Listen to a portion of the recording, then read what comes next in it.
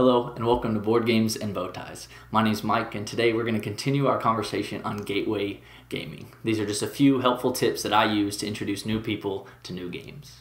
Something super helpful that I've found in introducing new people to new games, if you can't get them into the theme, say you're introducing them to something like Settlers of Catan with barely any theme at all, is comparing your game to other games. And I'm not talking about comparing Arkham Horror to Eldritch Horror, but comparing your designer game to games your friends may have played before oftentimes this can be a little bit of a stretch because for our friends that only know how to play Crazy Eights and Uno, there's not going to be much room for comparison.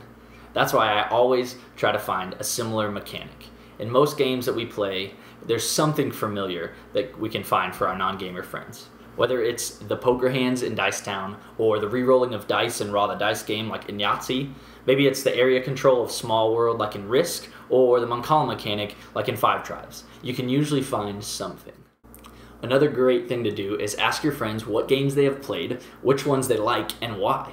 If my friend says they hate Risk, I may skip over Small World on game night. But just because they love Monopoly doesn't mean they're gonna like Power Grid. The why is really important. So that's all for today. Find mechanics similar to other games your friends like, and in my experience, this makes it much easier to get them into a game that you actually want to play and saves you from another game night full of getting your turn skipped in Uno.